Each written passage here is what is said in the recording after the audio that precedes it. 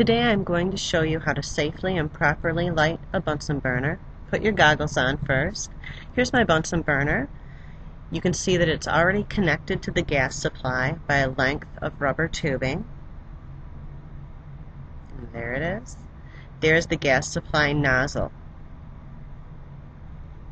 The gas is in the off position if I turn the handle from perpendicular to parallel with the gas nozzle the gas is turned on.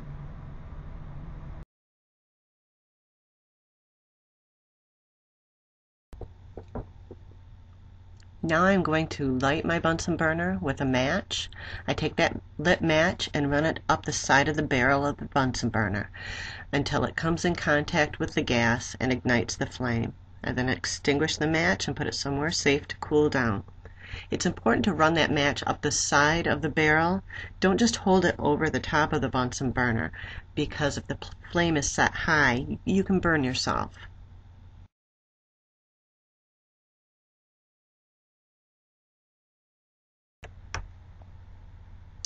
Now I'm going to adjust the height of the flame of my Bunsen burner.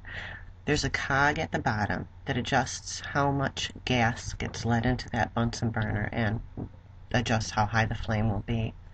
I'm turning it up just to show you how it can be adjusted, but you don't want a big flame like this. You want to turn it back down so you have a nice tight triangle with a little bright blue cone in the center, kind of a triangle within a triangle. I can also adjust the flame by turning the barrel as well to fine tune it a little bit.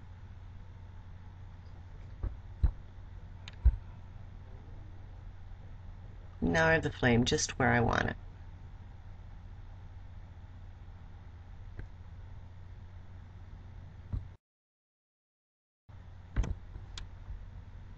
When I'm done with my Bunsen burner, I simply turn off the gas and that will extinguish the flame. I know it looks like my arm's right above the flame in the shot. It's not. It's just the angle of the shot. Make sure you keep your clothing and your skin and yourself away from that flame.